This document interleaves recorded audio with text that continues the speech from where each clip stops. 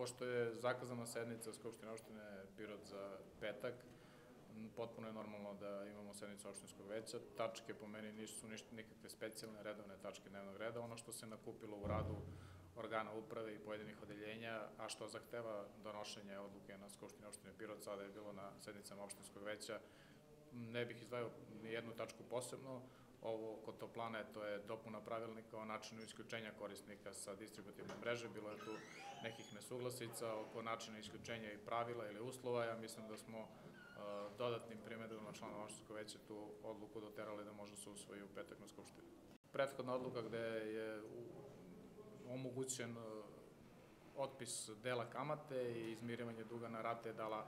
dobre efekte, tako da je sada predlog da se ponovo taj, ta odluka ponovo za narednih šest meseci poboljšava likvidnost toplane, sa druge strane neki